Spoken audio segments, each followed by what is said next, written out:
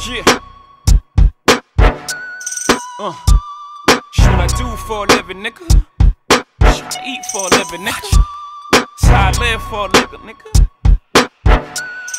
Watch. Okay. Let's do this.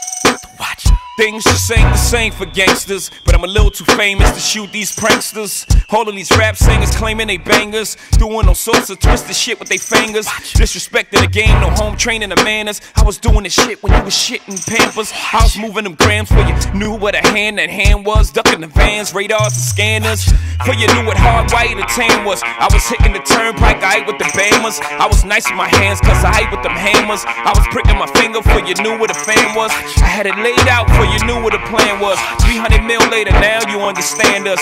You ain't see us coming to Vegas. You ever seen so much sham bust in one night? Ran, fucked up one fight. I was on a Peter Pan bus. You was putting Peter Pan. 11 juli, 11 uur, 3 tegen 3. Jij bent er.